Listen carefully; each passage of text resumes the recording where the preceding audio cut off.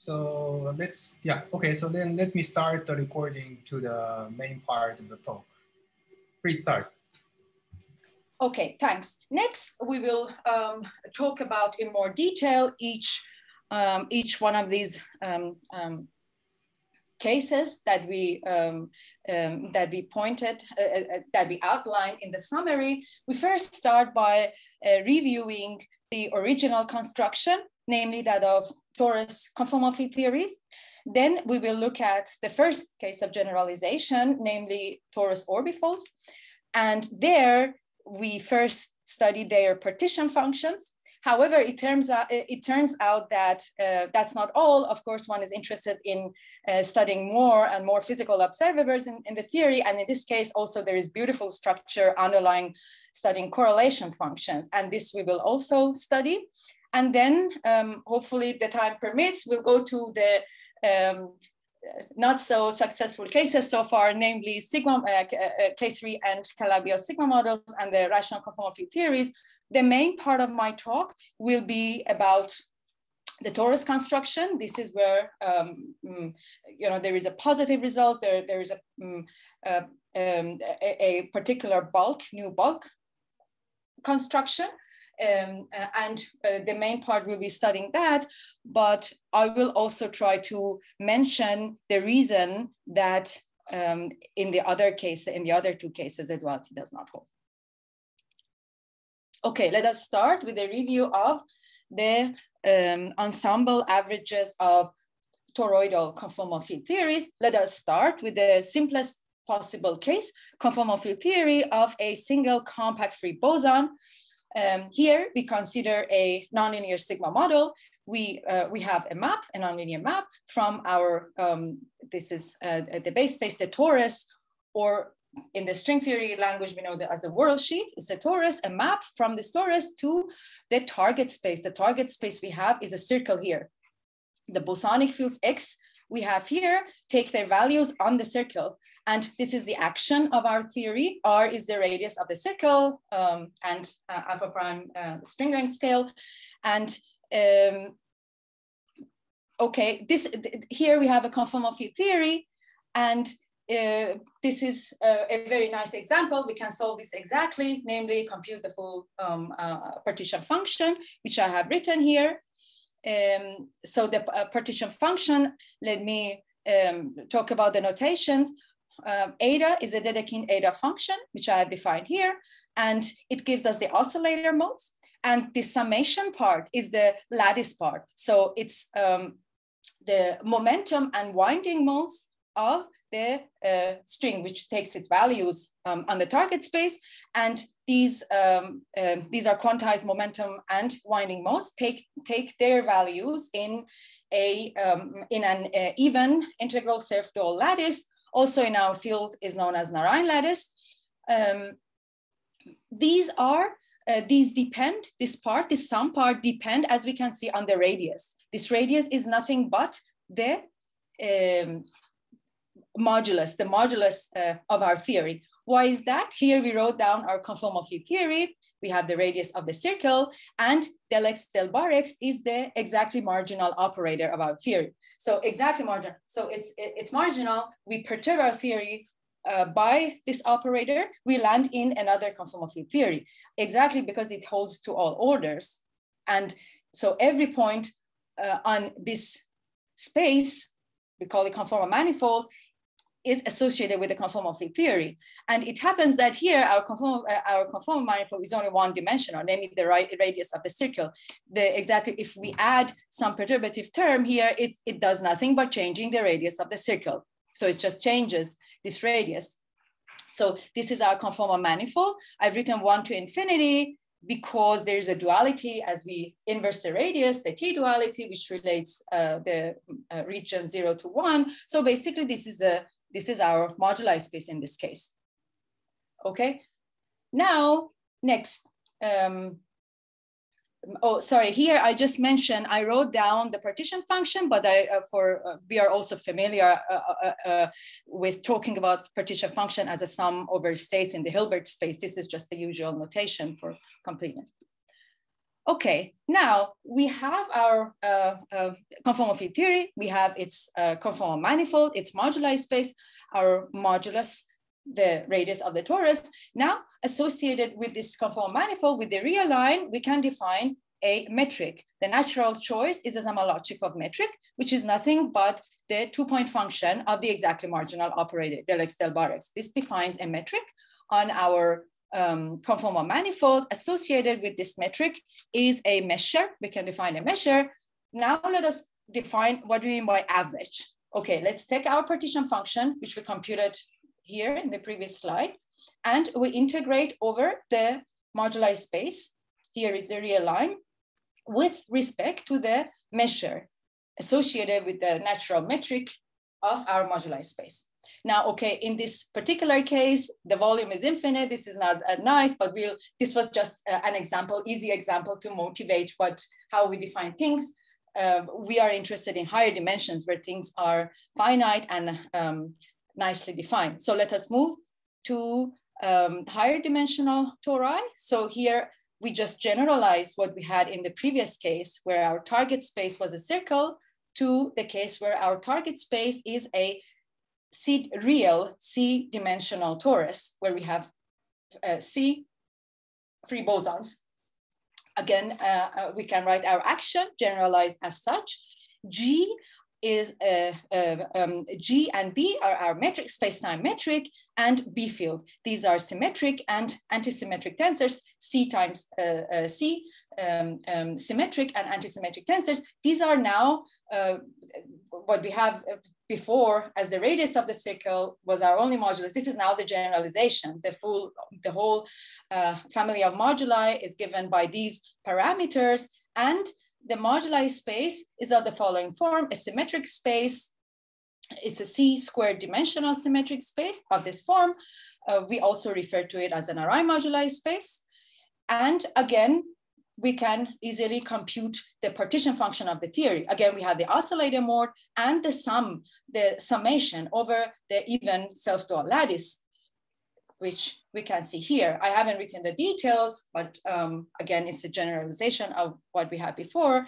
So Q again is um, e to the 2 pi i tau, tau being the, um, yes, uh, complex, uh, uh, uh the complex structure of the torus, of the torus and um, PL and PR are left and right moving momenta.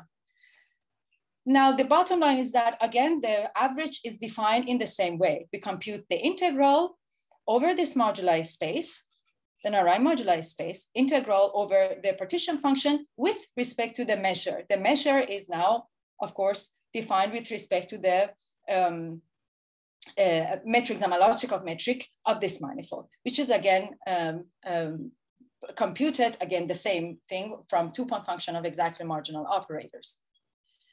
Okay, now the point is that, mm, so this lattice part uh, is also referred to as the sum part, the part which depends on the moduli, namely on G and B on this moduli space. This lattice part is also known as the Siegel-Narain theta function. This is a moduli dependent part.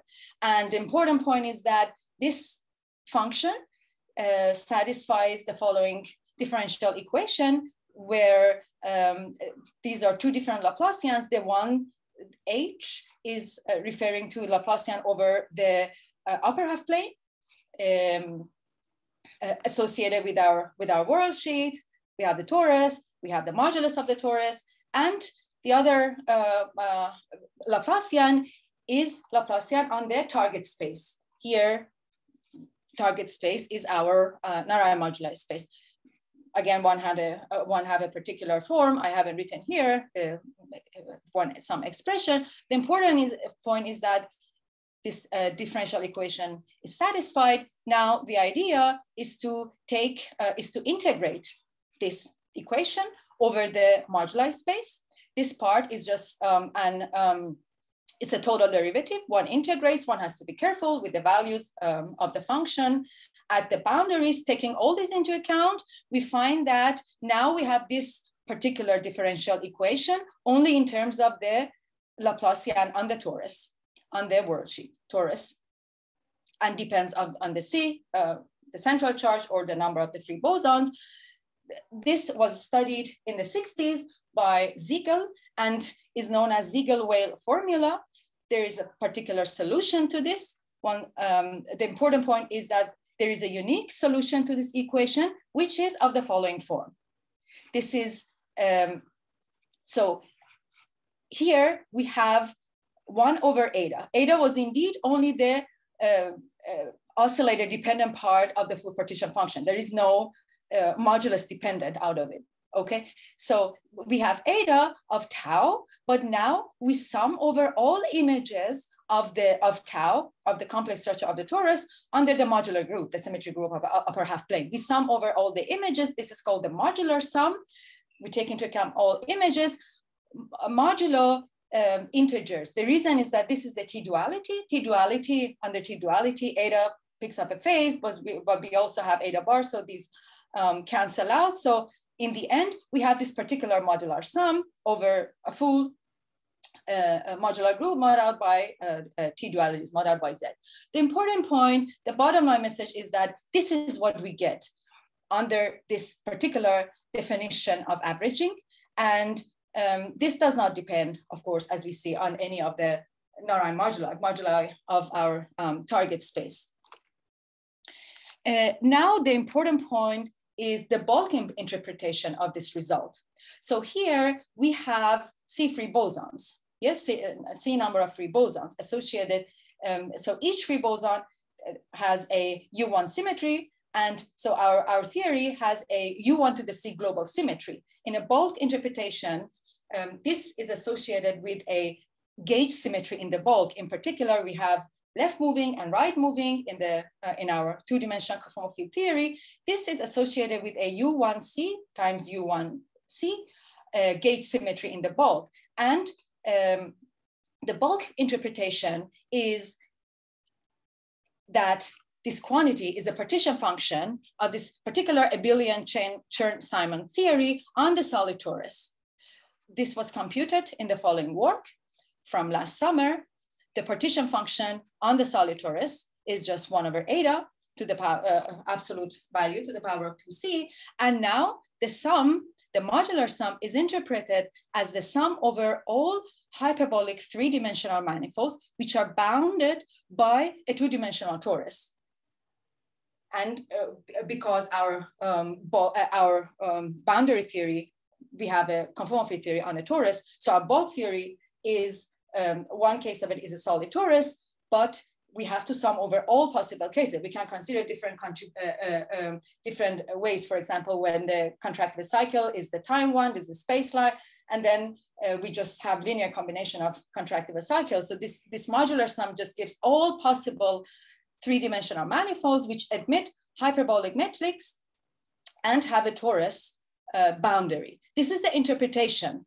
And this is why they call it uh, exotic theory of gravity, because you have the Chern-Simons theory defined on the solid torus, and now you couple it to topological gravity. This coupling exactly takes to, in, into account all these, uh, uh, this sum, this modular sum, sum over all possible um, uh, configures uh, all possible cases, all possible three-dimensional manifolds whose boundaries is a torus. Let us now summarize these findings, these discoveries. We have three quantities which, is, which are equal to each other. One is the average over partition function, which we calculated, or, or, or try, try to summarize at least how it's calculated. The other one is the modular sum of the absolute value squared of the uh, vacuum character. So we, we, uh, we discussed theory of C-free bosons, the symmetry, the, um, uh, it has a U1 to the C global symmetry, and um, the character, the vacuum character, which generates this, is one over eta, one over eta for each um, U1, and then one over eta to the C for our theory. So one over eta, and we have just the square value for left moving and right moving. So we have a modular sum over the vacuum character. This is known as the Poincaré sum.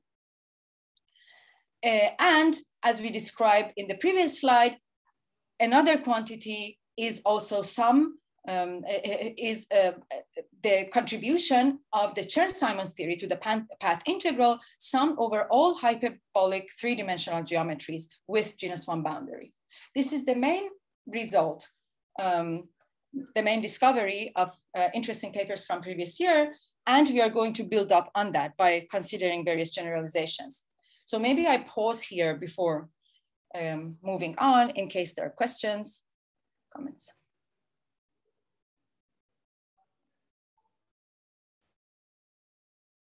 Okay, let us now go to, um, uh, uh, let us now consider ensemble average of torus orbifolds. Let us define what we mean by the orbifold. Again, we start from our uh, baby example, sigma model on a circle. Uh, the theory has a Z2 discrete symmetry. We would like to uh, quotient by this Z2 symmetry. This is how we define it. This was our target space. This is our uh, target space circle. Now we send all the fields X to minus X. It is a reflection with respect to this dotted um, horizontal, um, um, horizontal line I've drawn uh, here. Under this action, every point um, on the upper uh, part of the circle is mapped to the, to the corresponding point on the lower part. There are two points which are fixed under the action of this um, uh, group, namely zero and pi r. These are so-called fixed points um, um, of this orbifold. And now there's new structure. We have our original case, uh, original theory, original sigma model on the circle. However, uh, we have more. So previously we had fields, um, uh, our bosonic fields, which are periodic as we go around the spatial circle. But the new structure with orbifolds is that fields are periodic up to the action of this group. So here, namely, um, if we go around the spatial circle, the field is not mapped to itself, but to it minus itself, minus x. We go, we go around another time to get to the original configuration. These are the so-called twisted sectors of the theory. If we had high, uh, other uh, um, Zn, other higher uh, values, integers, three, four, six, here we would have some overall phases, but that's just a generalization. The important point is that the orbital theory has a richer structure because of the existence of these twisted sectors. And uh, these twisted sectors, um, we uh, introduce them by uh, introducing twist operators. These are operators which are exactly inserted at these fixed points, and they impose these non-trivial boundary conditions um, in this case, going to minus uh, itself, coming back uh, twice. So these twist fields, their job is to impose such non-trivial um, boundary conditions. The rest is just, um, again, straightforward. One can compute the partition function. The interesting point is that now uh, we have this Z2 symmetry. So uh, we um, uh, um, we uh, throw out states which are not invariant, namely we project our space. So in the untwisted sector, this is what we get when we project out some states um, which are not invariant under the action of Z2. The important point is that again, we consider twisted sector and project out Z2 um, non-invariant states. Here uh, is all the expression we have. Interestingly, this ZS1 is just, is just our original partition function uh, on the uh, circle. The rest, as we can see, is just uh, are just uh, ratios of eta functions over uh, eta function over theta function, Jacobi theta functions. Uh, these also depend on tau, but the important point is there is no moduli dependence here in this part because these are not, these do not survive the action of the orbifold. Whatever moduli, Narain moduli, target space moduli in uh, uh, dependence is, is in the lattice sum, which is only present in this uh, first term, which already we uh, have from um, original computation. Okay, please. Sorry. in these infinite sums you showed two slides ago, presumably there's a condition on C for which they're well defined. Condition on? On C, C for central charge. They, they don't, I mean, for very small, small seed. Excellent. exactly. Uh, yes, yes. This has to be greater than two, exactly, um, because um, the, this, this quantity you compute, you find that it does not converge unless C is greater than two. Yeah. Now, does and this condition one... become better? Hmm? The question was, does the condition become any better for the orbifolds or is the same?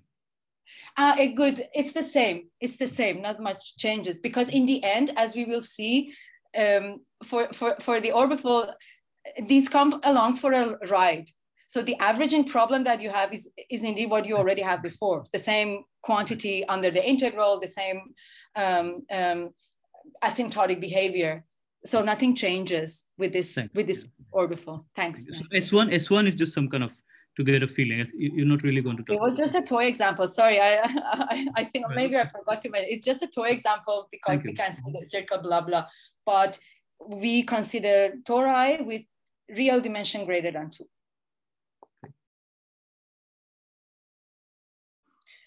Okay, uh, now as Samir said, um, we consider uh, the partition function that we have, uh, again, generalized from torus to tori to have a well-defined partition function. The sum is, the sum converges, everything is well-defined. And this is the expression we have. Now we would like to take the average in, in the same way that we defined before. These parts the one from twisted sector and this projected, uh, pro, pro, uh, this part from projections, they do not depend on the modular, and our modular. The only thing we have is what we have already before. And also the other point is that the case of Z2 is very special because as we remember, our exact marginal operator is um, for cycle is del x del bar, del bar, del bar x. Now we generalize it. The idea is that it's still invariant under the Z2. So the, our modular space is the whole, again, the whole um, C squared dimensional Narain modular space that we had before. Uh, Zamolodchikov measure on the Z2 branch of Narain modular space is the same as the orbifolder branch. So basically the computation just immediately follows. Uh, this term is already what we, um, uh, uh, um, the other two beautiful papers uh, computed the average. So this is what we have um, as for the conformal theory computation. But now we would like to understand the bulk interpretation. Before the bulk interpretation, we remember from the previous case, we said that we have three quantities which are equal. One was the average over partition function. The other one was the modular sum over vacuum character, um, um, absolute value squared. One finds that this does not hold anymore. And you know, one might be a little bit puzzled about that, but let us look at the structure of the vacuum character. The characters of um, this orbifold, TC mod Z2 orbifold. There are four discrete representations and one continuous family. I have written them in detail, but it's just, um, it's not important. It's, uh, we just remember that this continuous family is, is, is the one which has all the information about moduli dependent, dependence on Narain moduli and our target space. The rest comes, uh, we saw we have the orbifold projection and the twisted sector and um, we consider uh, this is so this throwing out some states. So there is some non-trivial operation to be done, and one finds that um, the um, um, characters of uh, this conformal field theory are of the following form. If we just take took into account the vacuum character, namely the um, uh, uh, the character, the, uh, the generating function, which is shared by all points on this moduli space, this is not, um, um, this does not hold, this is not enough. Okay, in the previous case, um, this was the shared chiral algebra. Okay, this vacuum character. So one might naively say that, okay, that's the same thing, let's go ahead. But the thing is that it, that's not the case anymore. The shared chiral algebra is much bigger because we have a richer structure. We need to take into, into account all these.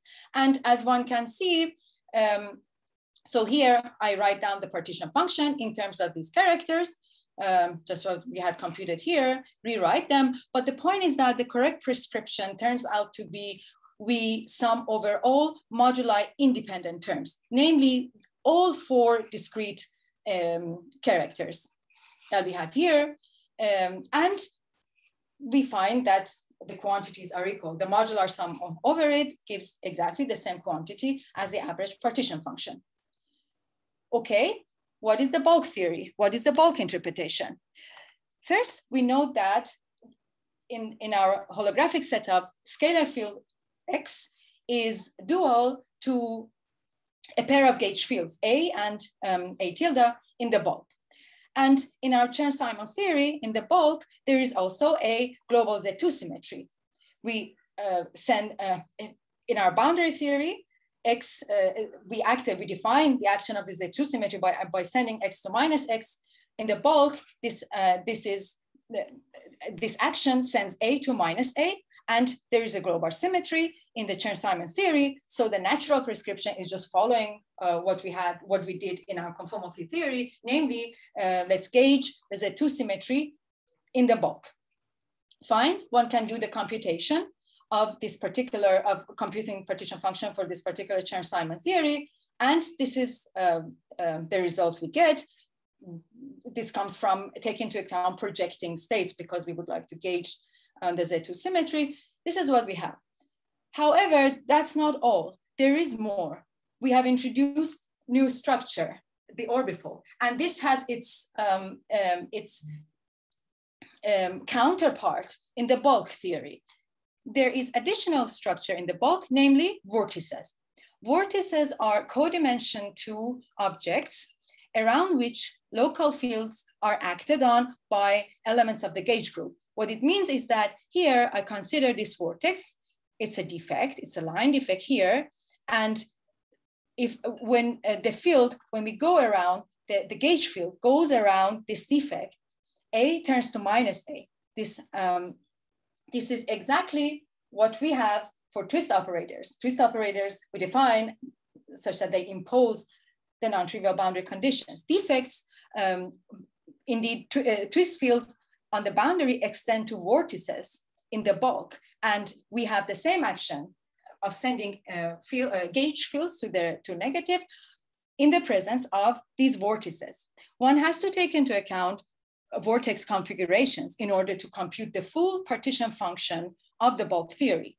And one does it in the presence of vortices, again, the projection part under the Z2 action, one finds that um, it, ha it, it has of this, uh, it, has this, uh, it is of this following form, take into account everything, namely all possible configurations, the uh, total Chern-Simons uh, partition function on solid torus turns out to be of the following form.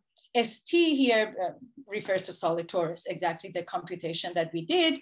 And um, this is indeed the character part that we computed just um, here, the, uh, uh, uh the moduli independent character part.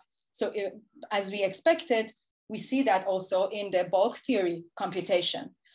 But now one has to do the sum, okay? Now one sums over all three-dimensional geometries with uh, torus as a boundary. And this gives indeed the Poincaré series. So the three, again, the three different quantities are equal, and this gives a natural generalization of the duality proposal for uh, average over partition function of the source orbifold being dual to Chern-Simons theory um, on the solid torus gauged, the Z2 symmetry gauge summation over all um, three-dimensional hyperbolic manifold with torus boundary. This is the punchline of this part.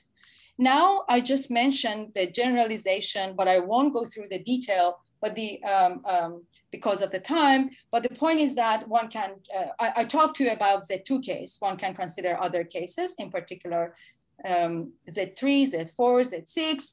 Now the point is that as opposed to the previous case, um, this uh, not uh, so uh, as opposed to the previous case, uh, the action of symmetry fixes uh, complex structures. Some of our uh, some of our moduli are fixed under the action of Z. For example, for Z3, not all lattice, not all Narain lattices have the symmetry. We need to fix particular, choose particular cases which have this underlying symmetry. So this fixes for us some of the moduli, and we need to therefore integrate over the remaining um, moduli. In this case, our complex structures is fixed. We have to average over the remaining, the Kähler uh, sublocus of the moduli space. But the idea is that the computation is uh, done in a very similar way. One has to consider the fact that now the, uh, the sublocus of modular space is smaller, derive the corresponding differential equation and define average and etc. I won't go through the detail. The punchline is that the same conclusion um, also holds here, namely the three different quantities, uh, average of the partition function of the orbifold conformal field theory, the modular sum, Poincare sum of the um, characters, not only the vacuum characters, but all the modular independent characters and the partition function of the Chern-Simons theory in the presence of um, vortices, as we discussed before, they are equal. A question. So this was the main result of the, yeah, yes? What, what about n equals five? This we haven't considered. So this is not part of this uh, crystallographic orbifolds. Um, this, this, uh, uh, it is interesting to try to do that. And of course, there are ways to construct that orbifold in a consistent way. Um, one expects that um, maybe um, a similar story goes. I haven't done it. It's an interesting question. Also, other orbifolds you can talk about, you know, non-abelian ones, um, um, you know, different. They're very asymmetric. They're very interesting cases. One can generalize this orbifold construction. Um, it's interesting to do that. This we have focused on maybe the first uh, um, non-trivial orbifolds. I don't have a sharp answer for, for you for that. Mm -hmm. I mean, it comes from the Schenker paper where they classify these orbifolds, right? Um, the crystallographic orbifold. Yes. So that's, yes, yes. I believe, the reason why you do. Yeah.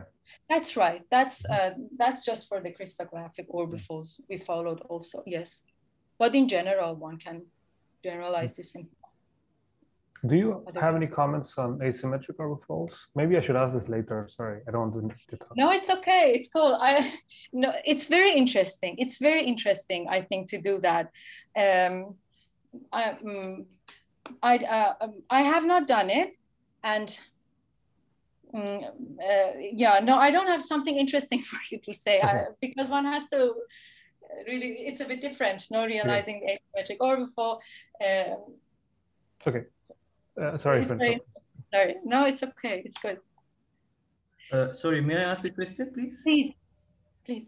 Uh, yeah, I understand that the at least in Maloney and Witten, the Chern-Simons partition function is computed in perturbation theory around a particular uh, solution, classical solution. So I just I'm curious which classical solution you're doing perturbation theory about in this scenario. This is the same. This is similar.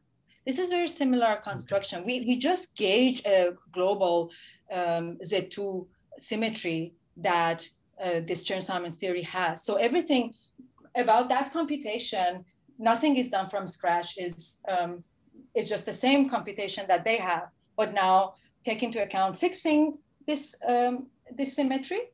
Doing, namely, it gives you projecting out um, some states. You take into account this projection operator, and then adding the vortex structure mm-hmm. to the partition function. But uh, the, the classical solution, the starting point is the same as already was, as you mentioned, uh, Maloney and Witten um, works um, done, did. Thank you. Thank you. Thank you. Okay. Uh, so next we are going to consider correlation function. So if there are other points or comments, questions about partition function, maybe we can discuss or.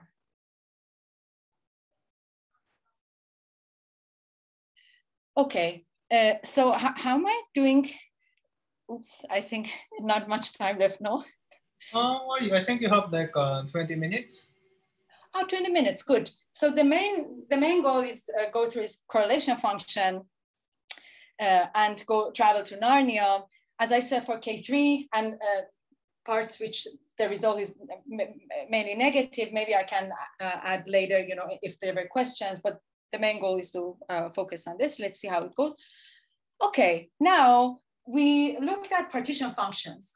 Um, however, especially in a holographic set setup, we are interested in uh, uh, studying other physical observables, in particular correlation functions, not only the kinematics, but also all the dynamics uh, information of, of, our theory.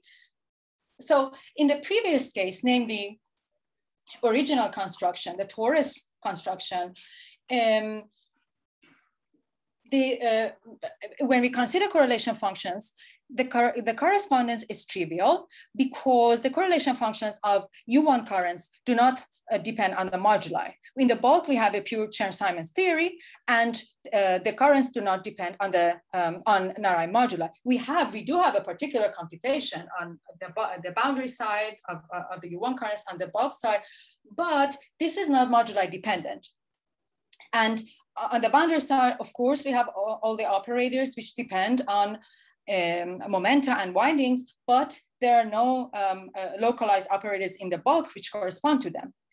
That's the interesting, that's the part which we are interested in because they involve somehow um, the target space, namely Narain moduli. That's what we would like because we would like to take an average over them. So the original case is not interesting in this um, as, uh, from this aspect.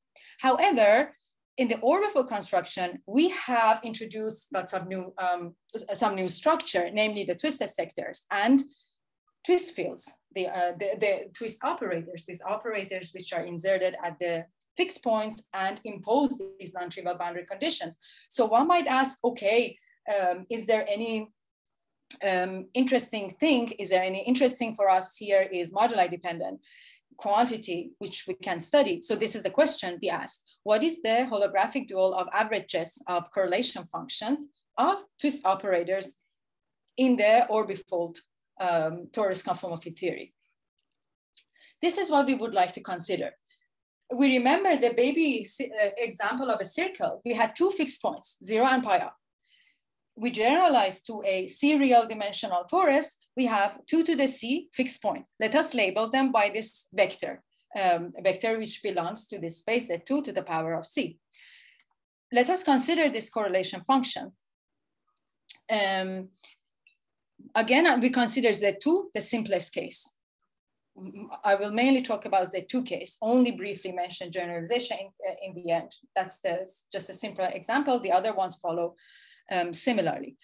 In the Z2 case, we only have one type of uh, twist operator, these operators which impose these only non-trivial boundary conditions, namely condition, namely a field going to minus itself. So let's consider a four-point function of, namely correlation function of four insertion of these fields on the uh, sphere, on the two sphere. It turns out that um, these fixed points must satisfy this constraint. This is like a charge conservation. Let us fix one of them at zero. The other one are, are fixed as follows. This is the most general four-point function that we can write in our orbifold conformal field theory. Now, in this particular setup, Z2 orbifold with four insertions on um, of the twist operator on the circle. So each, each one of them, each um, uh, uh, insertion point um, is this um, ramified point which imposes this non-trivial boundary condition. The idea is that we consider the covering surface, covering space of the sphere with four insertions at each point, which um, is the image of the twist insertion of uh, is image of these fields of these twist fields. It's uh, there are two sheets meeting each other on the cover. So instead of a field going to minus itself, and again coming back. So if we go on the covering surface, uh, when you go um, on this space, on the circle, when you go around a full circle on the cover, you go from the first sheet to the second sheet. You do it once more, go around circle on the base, you go back to the first sheet on the cover. This is what I mean by um, the covering surface. It turns out that in this case, the covering surface is a torus, okay? It's not in general. We go to other orbifolds, consider other uh, twist operators. You have covers of different um, um, um, genera. In this case, there is a torus and there is this particular relation um, between our anharmonic ratio, cross ratio. So our four point function, we use the conformal invariance to fix three positions. We only have one remaining um, uh, parameter, namely the cross ratio this is related to the um, complex parameter of the torus in this form. Fine. The, the this four-point function uh, has been computed in this beautiful work in, um, in 80s. Um, we are only interested in the, in the result. The point is that the result depends on the cross ratio. There are these oscillator parts that we discussed before, but there's also this theta. This is a generalization of the Siegel-Narain theta function that we have already studied before, I have just written, it's also very small, uh, it doesn't matter. It's just show that this is very much of the, it's just a generalization. We again have dependence on um, our moduli, namely uh, the metric, uh, the B fields. Uh, we have more, uh, all these uh, vectors um, which define our fixed point are there, but that's the same story. There is now the full dependence of Narain moduli, so there is now room to take an average in the way we defined it. Fine, let us do that. I only mentioned the result of this computation. So here is the result. Um, first of all, um, we see that we have sum over three terms. Okay, let us consider each term, first term. Here we have this quantity. This is again the same sum as what we had before. However, it turns out that now it's not over the full modular group. It's only over gamma 2. It's a congruent subgroup of uh, the full modular group is of this form. Um, the reason why it's not the full modular group is that um, um, this quotient, the full modular group uh, uh by uh, gamma 2, there are uh, six elements, oops, six elements, which change the position of these uh, points such that the correlation function changes. It's not the same anymore. There are, for example, there are, you may have configurations where you change to correlation function is still the same and these exactly uh, contribute to gamma 2, but there are cases where the co correlation function changes. That's why our group um, is not the full modular group, but fine, we can still define the corresponding Poincaré series, uh, uh, series associated um, now with this subgroup. Um, and three terms exactly takes to, into account three possible ways of pairing these four operators in the four point function. Namely, it takes to account whatever was left under uh, uh, when we modeled by gamma two. Okay, so this takes to, in, into account all possible way of contracting these um, uh, uh, of um, contracting these pairs um, together. And the other important point is the appearance of these delta functions. They have a meaning. Let us look at this here. In this term, for example, we have a delta function which fixes um, our fixed point vector to zero. What it means here is that um, this, this one on the left, this operator on the left, and this one on the right at zero at infinity must belong to the same fixed point. And as a result, the other two also belong to the fixed point. This is a very important consequence because of the bulk interpretation it has. Okay, we are going to discuss the bulk interpretation and uh, we remember this type of, um, this, this result. This was not um, in, in the, or it, it, of course, this was not present in um, the original four point function without average whatsoever, there is no such restriction. But here we have is the average, some things get canceled out and we have even more constraint are on how uh, different operators uh, uh, sit in fixed points. Namely, their endpoints have to be fixed pairwise, okay? Now let us look at the bulk interpret interpretation of this. So we already have discussed the fact that vortices are extension of twist operators on the boundary. So here we have a four point function. There are four vortices coming out and make two pairs depending on how, which term we choose and how we connect two twist operators. This is the bulk interpretation. We have four points where twist operators are inserted uh, um, sorry, uh, twist operators inserted are pairwise connected by two vortices in the bulk. Two endpoints of each vortex is associated with the same Z2 fixed point. This is what is imposed by, by our um, averaging computation. Uh, the appearance of vortices in the bulk was observed in this paper um, um, a few years back um, um, that they expect, anticipated this presence, here we see a realization. In our computation of averaging, we see a concrete realization of these vortex configurations. Now, we need to introduce another um, structure, namely rational tangles. Two tangle. first, let us first define two tangle. Is an embedding of disjoint union of two arcs into a um, three ball such that the endpoints of arcs land on four mark points on the boundary. This is exactly the construction that we have here. Now, rational two tangles are generated by acting um, with the monodromy group on the endpoints of the trivial tangle. Here on the left side, we have the trivial tangle. We have chosen this case where zero and infinity are connected, x and one are connected. This is a trivial uh, tangle.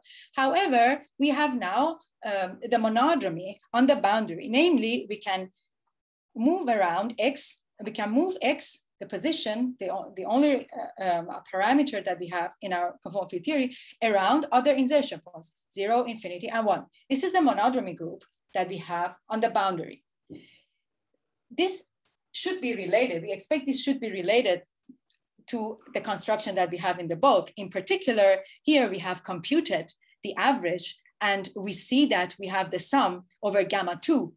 We, we are after the bulk interpretation of this modular sum omega, over gamma 2. So very naturally, we expect that this is related to this monodromy group under the boundary, how x moves around. And this is indeed what uh, one finds um, uh, we, as we discussed just at the beginning of this correlation function computation, we saw that uh, x, the cross ratio, and um, the uh, complex parameter of the covering torus are related. We can take the inverse formula, uh, the, the inverse relation, and then find the, the monodromy of x as x goes to around zero and one, and indeed see that this group has, this monodromy group has two generators, which are indeed the same generators as that of gamma 2, and the two groups are free, so they're isomorphic together. Indeed, as one expects, the monodromy on the boundary is the gamma 2, the uh, group, um, the subgroup of the modular group that we have in the bulk and gives us the instruction, the bulk instruction of how sum over all possible configuration in the bulk. Now, um, here I summarize. So this was our finding. This was the main formula for the correlation function. Now we understand each term and each coefficient um, sitting in front of each term. The sum over gamma 2 generates a set of rational two tangles pairwisely connecting zero infinity and x and one. This is, this is because this is the particular case that we considered here. Now, the remaining SLOC quotient um, gamma 2 exchanges these endpoints and generates vortex configuration connecting different pairs of four points. So we have now the full construction. Now there is the question, we only talked about rational tangles because we talked about how gamma 2 is the same monodromy group and we introduced rational tangles, but one might ask, okay, why rational tangles? Where do they come from? In order to, um, to answer this question, we, uh, so okay, what, what, what quantity we uh, compute in the bulk? In the bulk, we compute Chern-Simons path, path integral by going to the double uh, branch cover of the Z2 vortex configuration. And this is very similar to our uh, to the procedure we had for the orbifold conformal field theory on the boundary. Now, the important, uh, the, uh, the, important underlying thing is indeed the double branch cover of this Z2 vortex configuration. The reason is that the double branch cover of the trivial tangle is a solid torus. Okay, so, so the Chern-Simons path integral just gives one over eta uh, absolute value to the power of 2c as we had before. This is a very important fact, and this is indeed this double cover of the vortex configuration, which is a solid torus. This solid world is the Narnia world. So let us to, uh, to motivate this Narnia, we look at this very short part of video um, by Thurston, where we learned about, um, sorry, good.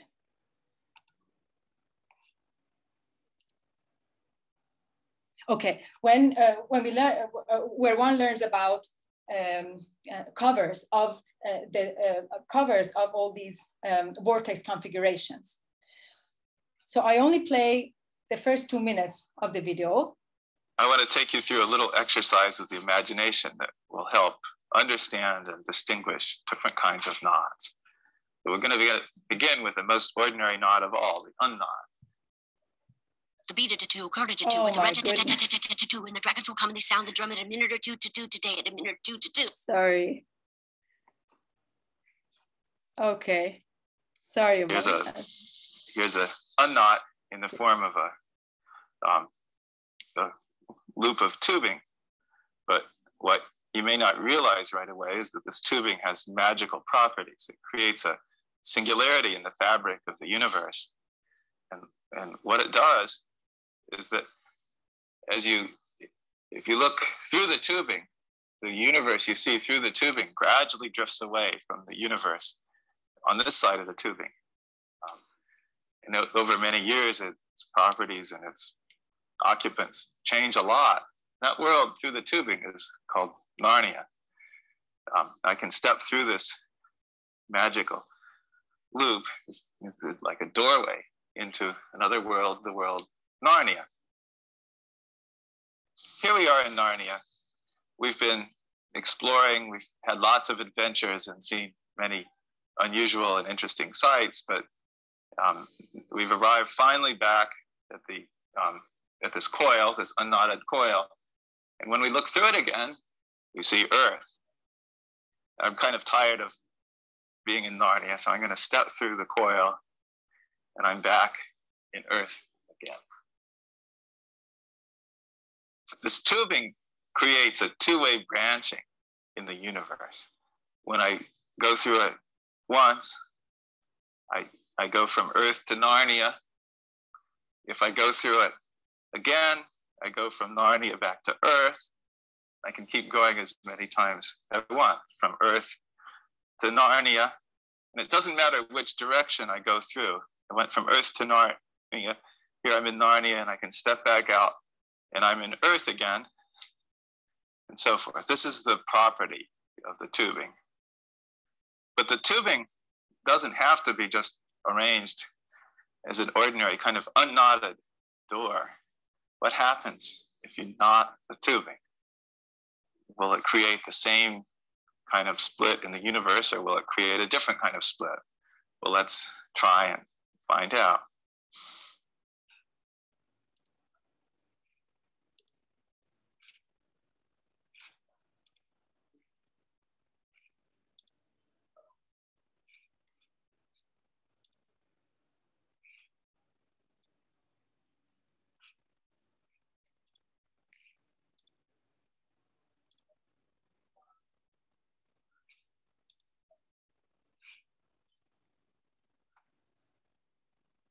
Oops.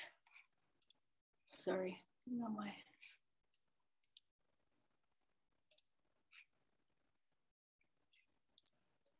Sorry, I'm trying to.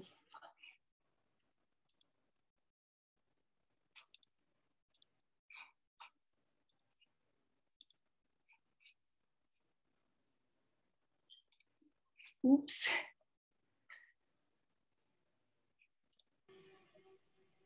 Problem sharing or? Yes. I have a problem sharing.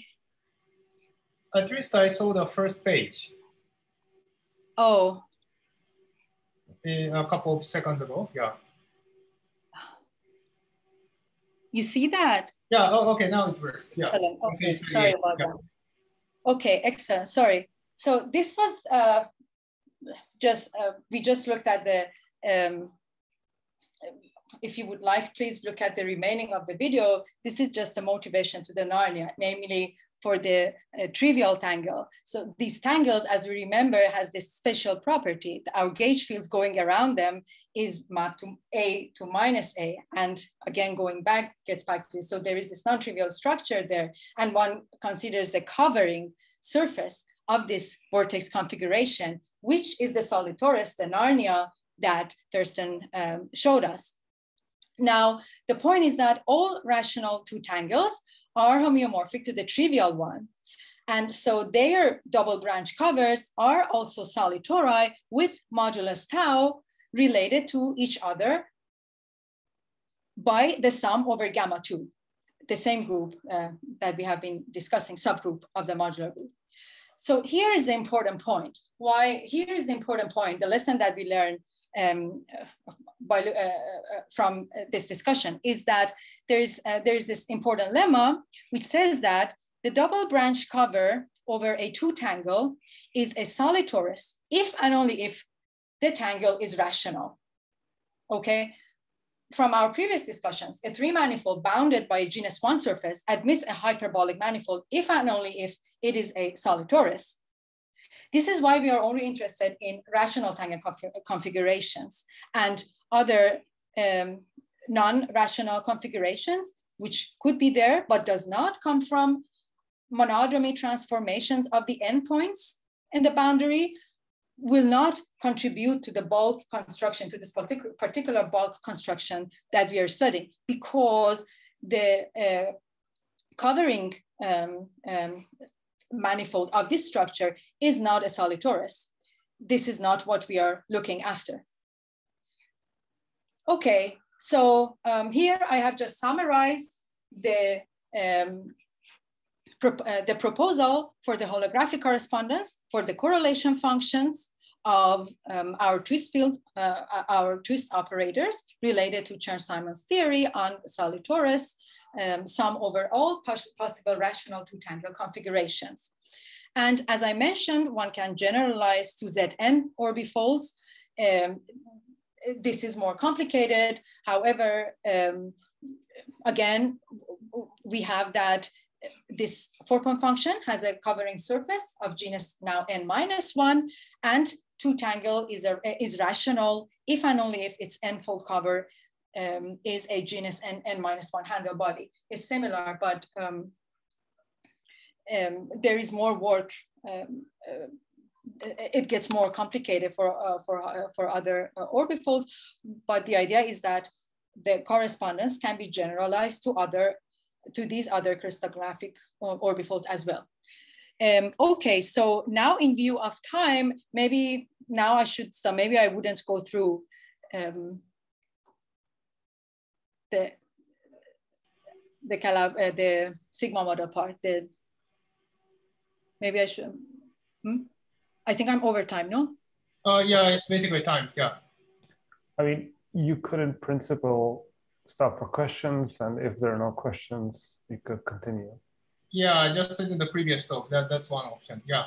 Okay, good. So here I escape the case with K3 sigma model and let me end by uh, just bringing some questions which might be interesting to answer. We consider two dimensional theories and their three uh, dimensional bulk configurations. Now one can ask, um, okay, what about higher dimensions? Do we see ensemble averages and this new holographic setup in higher dimensions? This is an interesting question to ask. The other um, point is regarding disconnected boundaries because now we have um, wormholes, presence of wormholes, and one learns about contribution to, uh, of wormholes to um, quantum gravity. And also, um, I didn't get a chance to talk about K3, but as I just mentioned at the beginning, the averaging over K3 moduli space does not work in the way that we have been talking about averaging so far. So an interesting um, question would be um, how one can define average over K3 moduli space appropriately and as such consider average averages of um, interesting quantities such as partition function, correlation functions, twist gaps, and etc. This is mainly interesting because at generic points, on the moduli space of K3, we do not um, have any information about. We do not um, know what, what, what the conformorphy theory is. So if there is a well-defined average quantity, this might um, shed light on region, vast regions on this moduli space um, about which we do not have much information. Okay, with this I uh, stop. Thanks for your attention. Hey, thank you. Okay, now time for questions and comments.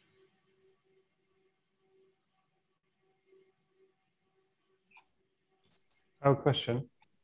Yes, go ahead. Um, have you considered doing this for higher genus, for Siegel modular forms?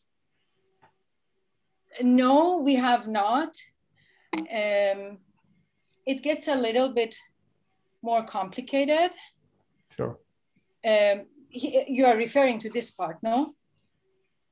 Yeah, I mean, the, the entire orbifold construction, where instead of you starting with the Siegel-Eisenstein series on SL to Z, you now have a Siegel-Eisenstein series on, on a congruent subgroup SL to Z. You have Siegel-Eisenstein series on um, SP to Z's congruent subgroup or something. Right, we have not considered that um, here already. Uh, you know, at this mm level, there, there, there was some new structure we studied. But I think the original construction of the two papers that um, from last year that we talked about, they have considered such generalizations, mm-hmm. yes, to um, higher genera. Mm-hmm. Um, the orbifold generalization of that, I, it's interesting. Of course, any in any direction, progress is mm-hmm. interesting. Yeah. I mean, I think I should rephrase my question. I think like we, we, we've been through your paper in quite detail. So I meant like, are you going to consider it soon or have you still not thought about it? But uh... oh, uh, no, we are not at the moment. We are not considering that. No, we have thought about it. Um, right. Um, yeah, we have thought about it. No, at the moment we are not studying that. Okay. Um, if that's your question. All right. Mm. Okay, uh, other questions or comments? Uh, I have another question. Uh, is it non-trivial to consider uh, like six-point correlation functions or eight-point correlation functions and consider like uh, more complicated tangles, for example? Right. Um, good. So the first thing, of course, to do is four-point function. So it gets more complicated because um, even for this case, um, okay, uh, the procedure that we've taken, mapping the problem to the covering um, um, surface, uh, now that's a different, depending on how many insertions you have, you have a different, different um, geometry on your covering space. One is to go there, then generalize this computation um, so higher point correlation function in the same paper and also another uh, companion paper at the time. Again, beautiful uh, computations have been done. It just gets more gets more complicated, but uh, in practice, one knows it's not a torus to cover, it's something else, but still one can um, um, one, can make progress. Uh, still, one can write yet another generalized theta function for that. Um, you know, they, they discuss this um, uh, in quite some detail. You have different parameters now, but um, you can combine them somehow and write down your theta function and again, try to do uh, an average. So it, it, can be done. I think it, it, might be a little more challenging, but the structure is there. On orbifold conformal theories, uh, two dimensional, there has been a lot of, of progress done since, um, you know, in these two papers and already in 80s. Um, so one can do such computation. And of course, also in the bulk, now you have more, now you have three tangle if you have, um, if you, uh, the, the next one, three, uh, six point function, you have three tangles. So perhaps um, um there is beautiful mathematical um, studies uh, on that. Um, and one maybe tries to see how the picture on the conformal theory connects to the configuration of these um, of these vortices. It's a, I think it's an interesting point to look at. Thank you.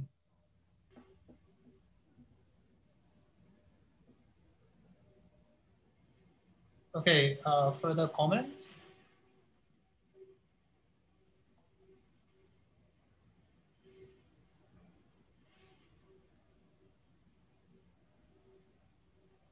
Okay, then, uh, well, uh, then maybe you attempted to go through cases very quickly or? Quickly, very quickly. Yeah, okay. go through in uh, three minutes or something like that. very quickly. The point is that um, okay, what happens to K3? Again, the quantities which computed average over partition function and the other one modular sum over character, some vacuum character, let's take, and possible bulk interpretation. These are the three things we had in our original construction. So for K3, first of all, this left-hand side, we have no idea at the generic point. There are particular points, for example, orbifold, toroidal orbifold point, the Kummer surface or Gepner points. We don't know very well, but that will be very similar to already orbifolds we've been doing. Generic points, we do not know what the conformal theory is there. We cannot, uh, we do not, um, as such, we cannot write uh, associated differential equations, solve them, blah, blah. So we don't have any information about the left-hand side, but still what could ask, okay, still we know the K3 case is a supersymmetric conformal field theory with n equals four comma four, small four comma four supersymmetry. And we know very well by this beautiful work, this series of beautiful works, we know what uh, vacuum characters are. Can we just um, take the modular sum over them? No, the, the, the first very naive maybe guess one has yes, of course, one can do that, but one finds that on the right hand side, if one performs this um, computation, the spectrum is not positive definite, which is not so nice because on the left hand side, okay, we don't know what it is, but it better be a very nice and well defined conformal theory. And we would like to average, namely take an integral over the full family of these theories. Again, it better be that um, K3 sigma model and its average, eh, the integral be positive definite. So the fact that um, this operation on the right-hand side is not a positive definite quantity is by itself, um, it shows that um, um, it's not correct. But we had our experience from orbifold construction where we not only considered the vacuum character, but only, um, uh, but, but also added um, other moduli independent parts in order to get the correct answer. So the next naive guess would be, well, we have also now all our BPS characters, half BPS, the chiral ring, anti-chiral ring, and quarter BPS. Um, these um, are counted by the elliptic genus. Let's take into account those as well. One does it, finds that unfortunately it's not still positive definite. So mm, this is what I mean correspondent failed at this level. This is the very first um, when my, one might try to do. This is uh, the story with K3 and with minimal models. Now we have uh, just some points there. We do not have a, a moduli space, but if, if we consider unitary minimal models, um, are identified by this pair of integers and we have uh, well-defined central charges. Now, where P is greater or equal than, than five, we have two or sometimes three um, unequal physical conformal theories at each central charge. And these are these correspond to A or D, and in some cases, not all cases, in some cases, E um, series modular invariants. So the idea would be that, okay, let's consider a particular central charge. There might be two or three uh, physical conformal field theories. Can we now um, define and um, this average uh, duality as such. Namely, we have the vacuum character. Again, we perform the Poincare sum, the modular sum, and we ask whether we can write it as a sum over partition functions of these two or three conformal theories with a positive weight. This, this is a way to define this um, ensemble average. We do not, we have just points. We add them with a positive weight. And it turns out that for um, it works, but at values of p greater than 14, it does not work. Um, also for Wess-Zumino-Witten models, there are families um, of such theories. And recently there have been a lot of interesting work exploring again, in which cases one um, can define such, um, such um, a duality. And this, these, um, so the case with orbifold and with K3 and rational uh, conformal theories motivates the following conjecture that the Poincare sum of vacuum character of any chiral algebra with C greater than C critical does not have a positive definite spectrum. And C critical is defined as asymptotic density of states of the chiral algebra. It's like the number of currents that we have. We look at the asymptotic states. Um, so in the orbifold case, as well as the torus orbifold, C is indeed equal to uh, number of the currents. We have the Sugawara construction there, for example, for the torus orbifold.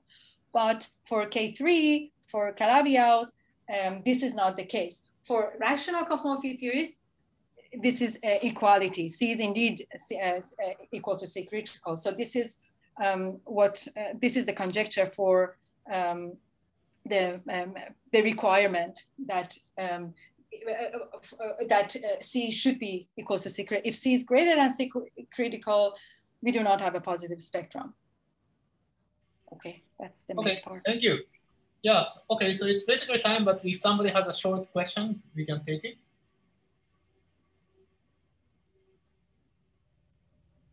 Well, okay, then, I have a short question. So for case three case, there is still a possibility that if you change the seed, like uh, if you change some, start with some combination, take Poincare series, it might work, right? So true. Yes, that's exactly. That's um, probably there are not that much candidates. So how ex exhaustive have you ex explored or? This we have not explored. Uh -huh. um, in other case, you have a bulk interpretation in your mind. No, right. um, here it's less clear. Yeah, I see. True. Okay. Great. Thank you. Okay, then let's uh, thank Ida again. So Ida, are you going to be at the GatherTown discussion today or?